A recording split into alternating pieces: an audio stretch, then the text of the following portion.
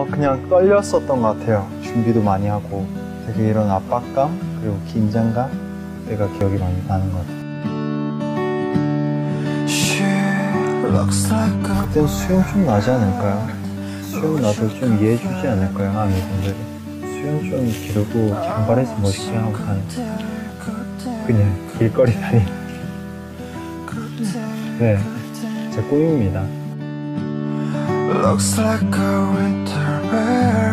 늘 새로운 모습들을 많이 보여줘야 된다고 저는 그렇게 계속 도전을 하고 있는 것 같아요. 계속 같은 표정, 같은 제스처 하면은 질리지는 않겠지만 똑같은 곡이라도 늘 무대마다 다르게 더 새롭게 더 재밌게 처음 무대 보는 것처럼 저에게는 큰 도전이고 제가 이뤄내야 되는 숙제